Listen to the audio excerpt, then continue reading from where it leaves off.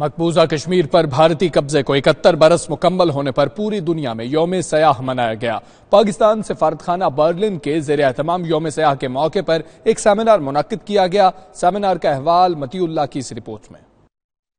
پاکستانی سفارت خانہ برلن میں یوم سیاح کی مناسبت سے منعقدہ تقریب میں سفیر پاکستان جوہر سلیم نے صدر مملکت ڈاکٹر عارف الوی اور وزیر اعظم عمران خان کے خصوصی پیغامات پڑھ کر سنائے۔ تقریب سے خطاب کرتے ہوئے سفیر پاکستان جوہر سلیم نے کہا کہ بھارت کے خلاف یوم سیاح کا مقصد کشمیر پر بھارتی قبضے اور کشمیریوں کے قتل عام کو عالمی برادری کے سامنے بے نقاب کرنا ہے۔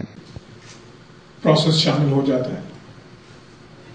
تو اس کو ہندوستان نے ایک غلط انداز سے پیش کیا دنیا کے سامنے اور مسخ کر دیا انہوں نے اور کیا کرنے کی کوشش کی، کرنے میں کامیاب تو نہیں ہوئے، لیکن تھوڑا سا ان کو یہ فائدہ ہو گیا کہ جی جس طرح نائن الیون ہو رہا تھا، اور کئی جگہوں پہ اس طرح کی چیزیں ہو گئیں، جس سے کہ دنیا میں تھوڑا سا ایک ماحول مسلمانوں کے کوئی اتنا زیادہ حق میں نہیں رہا، اس قسم کی جو جدوجہدیں ہوں۔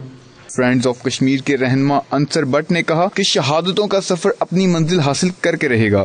مظلوم اور نہت کشمیری سال ہے سال سے گزشتہ کئی دہائیوں سے اپنی آزادی کے لیے اپنی جانوں کے نذرانے پیش کر رہے ہیں۔ مظلوم اور نہت کشمیری پاکستان کے ساتھ الحاق چاہتے ہیں وہ پاکستان کے ساتھ رہنا چاہتے ہیں وہ کشمیری قوم پاکستان کے ساتھ پاکستانی عوام کے ساتھ بے تحاشا محبت رکھتی ہے۔ ڈاکٹر وجاہت تارڑ کا کہنا تھا کہ اقوام متحدہ بھارتی مظالم کی تحقیقات کے لیے کمیشن قائم کرے۔ More importantly, I would like to thank every single one of you who has taken the precious time to come here to just to raise our voices against this genocide being happening in Kashmir for over 70 years. It's pretty interesting. Um, I also was honored to mm, um, held a speech last time, some month ago, on this same topic.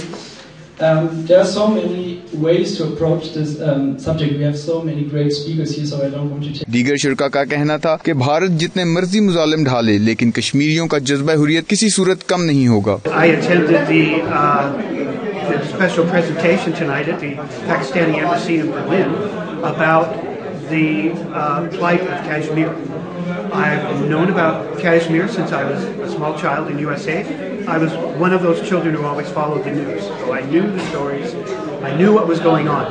But coming here today was a real eye-opener that in this modern era, when societies all around the world are gaining freedom, that this problem still exists is just it's almost beyond words that such a thing could still be happening.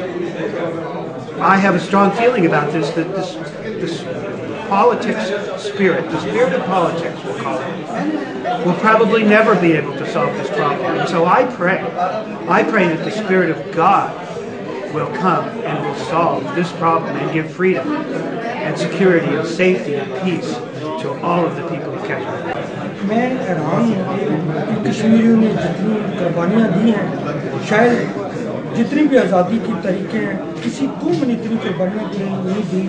جتنی کشمیریوں نے قربانیاں دی ہیں ان شاء اللہ تعالیٰ ان کی قربانیاں رائے گاہ نہیں تقریب میں پیپلز پارٹی برلن کے رہنما منظور ایوان، عوامی تحریک کے خضر حیات تارڑ مناج القرآن کے امیر میاں عمران الحق، اسلامی تحریک برلن کے امیر خالد محمود بزم برلن اور پاکستان اسٹوڈنٹس ایسوسی ایشن کے طلبہ نے بڑی تعداد میں شرکت کی۔